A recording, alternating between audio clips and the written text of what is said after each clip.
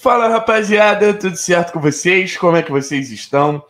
Independente da confiança que a gente está nesse momento com o Atlético, e eu sei que a confiança da grande maioria da torcida é muito baixa, por tudo que a gente viveu em 2022, pelos picos de expectativa que já existiram e não se confirmaram, a gente, a gente imagina que o jogo contra o Ceará vai ser só mais um jogo na temporada, né? Mas os mais confiantes, quem tá no meu time, eu me sinto até um pouco confiante, mas nesse momento não tô nem tanto. Eles sabem que em algum momento esse time vai reagir, ou acreditam que em algum momento a reação ela realmente vai existir. Eu até acho que vai, tá ligado? Até acho que vai. E precisa começar em algum momento, precisa começar em algum jogo. A reação ela não, ela não te comunica, ela não te manda uma carta, ó, eu, eu vou começar a remontada na temporada nesse jogo específico. Então o Atlético ele precisa voltar a vencer para a remontada acontecer, sabe? Então vence um joguinho ali, daqui a pouco vence outro ali, daqui a pouco vence outro ali. E eu até perguntei lá no grupo de membros, rapaziada, qual temporada vocês lembram que foi mais impactante assim em relação a uma remontada, a uma reviravolta, a uma recuperação? E eles me disseram, né? várias temporadas, óbvio, várias temporadas foram citadas, 2005, até mesmo 2004, é, 2008, 2009, enfim, vários, várias temporadas assim.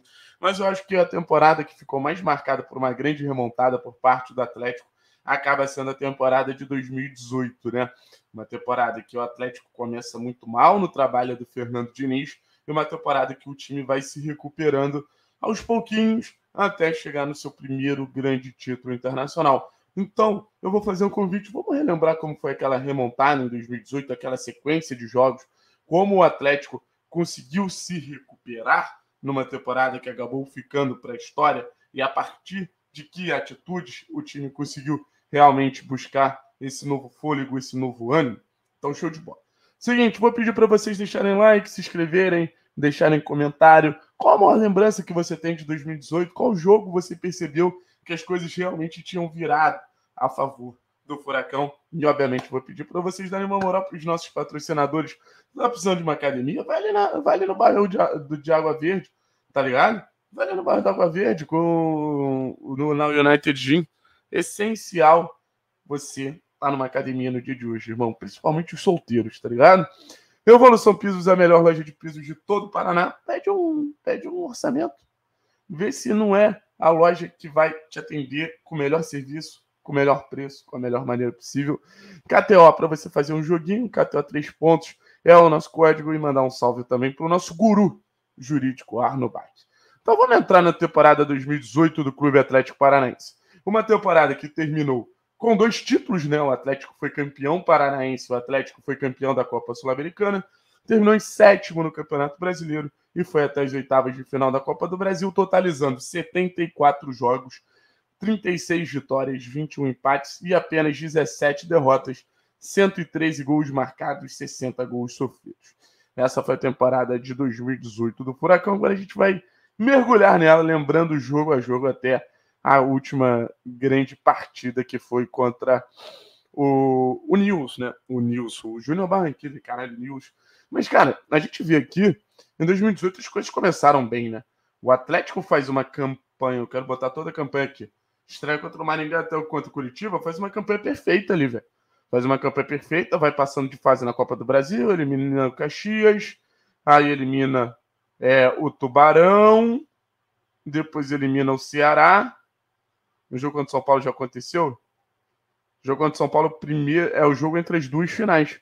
Então o Atlético perde o primeiro jogo no Couto Pereira na final da Copa do Brasil, joga contra o São Paulo, ganha de São Paulo é, na Baixada e depois vira a final na Baixada. Então, assim, é, foi uma campanha bem sólida. O Atlético, em vários momentos, deu algumas osciladas, por exemplo, algumas sequências de empate, 0x0, 0x0. Aí alguns empatezinhos aqui de novo, depois três empates seguidos, decisão de pênalti, decisão de pênalti. Mas na reta final as coisas acontecem. Goleia o Maringá, ganha do Londrina, sabe? Vence o Coxa na final, papapá. Vai ganhando São Paulo, começa uma Copa Sul-Americana muito bem, ganhando do Nils, sabe? Ganha da Chapecoense por 5 a 1 Então, naquele momento ali, existia uma perspectiva muito grande, uma esperança muito grande. Até por isso, até por isso esse paralelo. Vou até aumentar aqui para vocês terem uma, uh, vocês terem uma noção. A, Até por isso esse paralelo, sabe? É, aí chegou o jogo contra o Bahia, empates em sequência, sim, mas empate que o Atlético até joga bem, como foi esse empate fora de casa contra o São Paulo na Copa do Brasil, onde São Paulo abre 2 a 0 a gente vai buscar, empate contra um Grêmio muito forte fora de casa. Aí começa. Porrada pro Palmeiras, porrada pro Nils, porrada pro Galo, porrada pro Cruzeiro, porrada pro Fluminense, empate com o Paraná fraquíssimo, ganha do Santos, porrada pro América Mineiro. Aí a gente já tá na nona rodada do Campeonato Brasileiro e aquele Atlético que, que transbordava confiança, aquele Atlético do dinizismo, aquele Atlético que jogava um futebol bonito e realmente jogava, apesar das várias improvisações, ele já, ele já não era mais visto, sabe? Se a gente pegar aqui uma das derrotas, sei lá, escalação contra o Fluminense.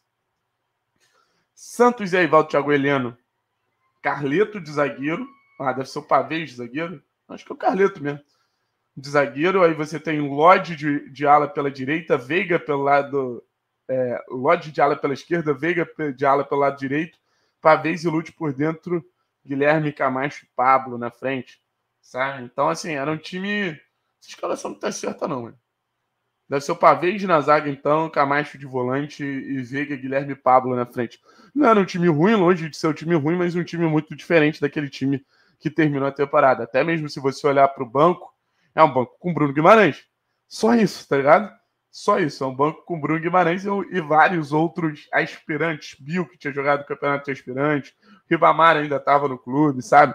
Então era um Atlético muito diferente que ia, ia se formar, ia se alterar. A própria vitória contra o Santos, a gente pode pegar a escalação aqui, hoje Thiago Heleno e Guilherme, mas você tem um Wanderson titular, que não é aquele jogador, sabe? Você tem um Guilherme que no final da temporada nem estava mais direito, sabe? No banco, o Bruno Guimarães, Rafael Veiga, sabe? O Renan Lodge no banco, Léo Pereira no banco. Era um Atlético que ainda ia entender que o caminho que ele ia encontrar, obviamente, passava pela troca de técnico, passava pela troca do Diniz, mas passava também pela utilização desses jogadores mais jovens. E acho que pode ser um insight importante, mano.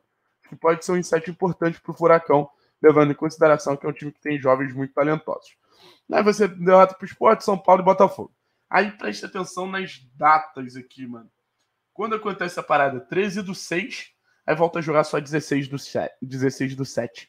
Essa parada foi muito, muito, muito importante. Esse meizinho de treinamento enquanto rolava a Copa América no Brasil é, é outra história, porque ainda é com o Diniz, essa derrota para o Botafogo, aqui já, veio, aqui já veio o Thiago Nunes, que é eliminado para o Cruzeiro, mas é eliminado competindo, sabe? É eliminado competindo. Aí você já vê uma escalação mais diferente, com mais cara de final de Copa do Brasil, mano. De, de Copa Sul-Americana. Santos, Jonathan, Paulo André, Heleno e Lodge, Bruno, Lúcio, Veiga. Aí tem o Rosseto, Nicão e Pablo o, o Guilherme já está frequentando o banco, o Camacho frequentando o banco, sabe? Então é mais uma cara, é, é, mais a cara do time que a gente vai ver no final da temporada. Então o que mostra também que o Filipão ele pode ir acertando uma peça aqui, uma peça ali. Aí, aí emplaca, mano. Por exemplo, esse jogo contra o Flamengo aqui, pegar a escalação. Foi um jogo que o Atlético vence, vence muito bem. Pablo Veiga e Zé Ivaldo, Santos, Jonathan, Zé Ivaldo, Léo Pereira e Lodge, Wellington, Lúcio Veiga, Nicão, Marcinho e Pablo. Aí o Bruno entra no jogo, tem o Nazário também.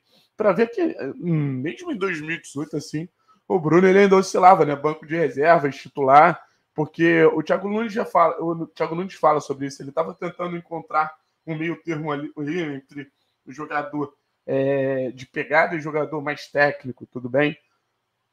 E, e, é difícil encontrar esse meio termo. E mesmo assim, naquela recuperação, existe um momento de oscilação aqui, tá ligado? perde para o Palmeiras fora, perde para o Atlético Mineiro fora, perde para a Chape fora. Então é uma característica que o Atlético costuma ter essa dificuldade de jogar fora, tá ligado? Mas aí depois vai volta ganhando o Fluminense bem, ganhando Caracas fora, ganhando o Paraná. Mas essas oscilações elas vão acontecer independente de quem seja o treinador.